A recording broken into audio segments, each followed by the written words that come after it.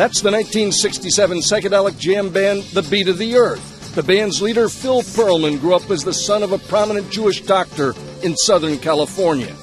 In the 70s, Pearlman changed his name to Seth Gadahn, married a Catholic girl, and moved to this goat ranch in Winchester, California.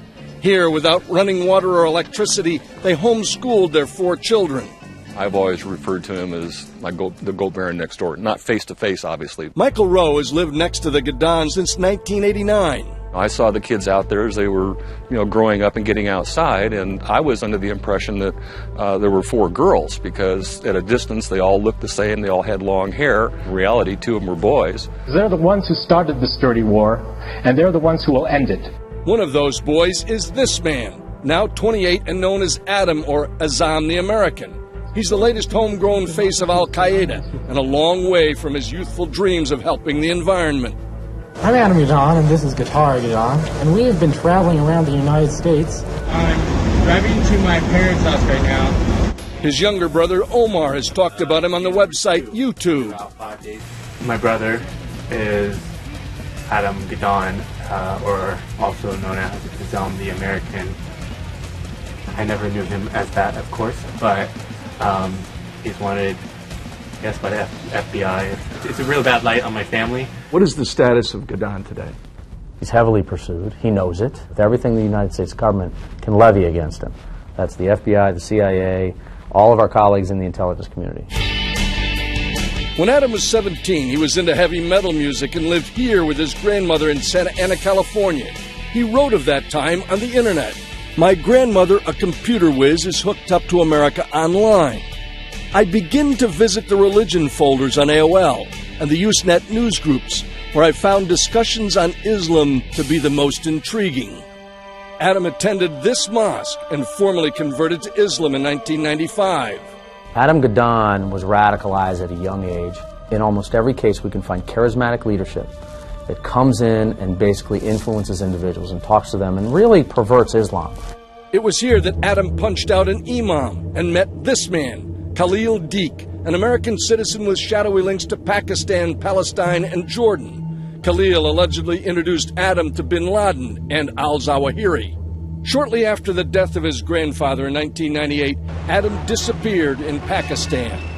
A year later, Khalil Deek was arrested in Pakistan and imprisoned in Jordan, suspected of terror activities. Back in California, Khalil Deek's brother Taufik defended him, calling him a family man. Taufik declined War Story's request for an interview, but said his brother is, quote, dead, and any questions won't help anything now. Khalil may be dead. After being mysteriously released in May 2001, some reports say he was killed by Al Qaeda for collaborating. Others claim he was killed by Pakistani soldiers during a raid in 2005. No one knows for sure. Tawfiq is president of West Coast Islamic Center and works for the state of California and the Department of Toxic Substances Control. He says his brother's troubles still haunt his family. Just four days ago, the Department of Justice charged Adam Gadahn with treason. It is not a crime only against the American people, but against America itself. The case of Adam Gadahn is very important. He is now the spokesperson of Al Qaeda for North America. My question is what happened at the conversion so that he, after the conversion, feels that he has to go to Afghanistan and join the jihadists? That is the big question. Who is doing those conversions? But we don't know really who is bringing them and who next to the mosque is meeting with them. These are the jihadists. An enlightened Muslim leader puts himself in enormous personal jeopardy if he indeed stands up and speaks out. Have you ever been threatened for speaking out? Oh, I have been threatened many times. I'm very aware they might be able to kill me, but my message is already all over the world. Interviewing the moderate voices of Islam can be a challenge.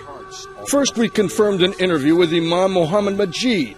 In Time magazine, he said, The terrorists are the murderers, and God will deal with them on Judgment Day. He canceled with less than 24 hours' notice. Then, Imam Faizul Khan agreed to sit down with us. He's been a guest at the White House twice. Assalamu alaikum wa rahmatullah. May the peace and blessings of God be upon each and every one of you here tonight.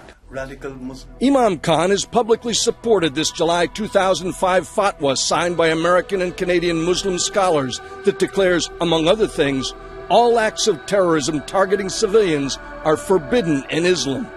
But when we arrived at his mosque, Imam Khan told us he could no longer do the interview. He directed us to his deputy, 35 year old Imam Karim Abu Zaid, as an expert on the Quran. There are those who profess, in the name of Islam, to justify flying planes into the World Trade Center, to blow themselves up at a wedding in Jordan. And they profess to do that to Muslims, to Christians, and Jews. But that's not the Islam you've described to me. The guidance says, fight those who fight you and do not transgress. The people who were in the airplane were not those who are fighting you, because those who transgress are not loved by Allah. Egyptian born Imam Abu Zaid moved here in 1993 and became an American citizen. The military operation in Afghanistan and now Iraq has been much criticized by Islamic leaders all over the world. Do Islamic leaders present Islam? I would defer to your judgment on that. Do they? No comment. If a young person came to you and said, Imam, I wish to become a martyr, what would you tell him?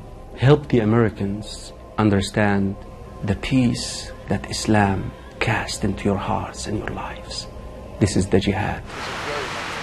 Finally, Imam Khan decided he would answer some of those same questions. If a young person in this congregation came to see you and said, Imam, I want to become a suicide bomber. I want to get on a bus in downtown Washington and blow myself up. What would you tell him? I would tell him in his place bluntly, that's the most ridiculous opinion I've ever heard. And there should be no reason why anyone should want to commit suicide and blow up bombs and kill innocent people in the name of Islam. This is totally against the teaching of Islam.